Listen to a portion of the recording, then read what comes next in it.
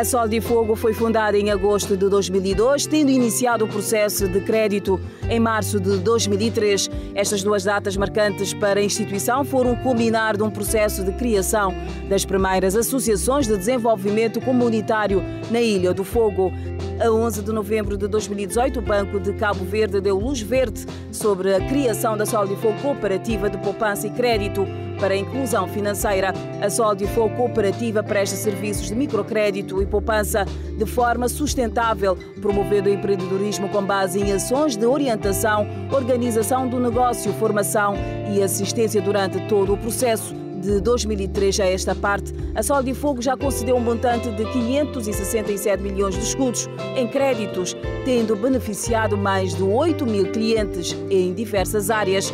Com a nova lei de regulamentação das microfinanças, a Sol de Fogo é uma das sete instituições acreditadas pelo Banco de Cabo Verde. O agente de crédito é o profissional que se relaciona diretamente com os empreendedores de micro ou pequenos negócios, orientando-os da melhor forma possível em relação à concessão de crédito.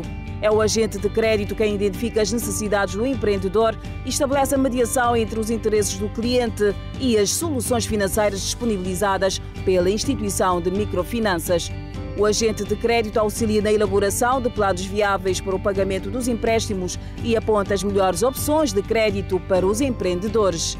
Além da qualificação técnica, o trabalho desempenhado pelo agente de crédito também exige uma sensibilidade social singular.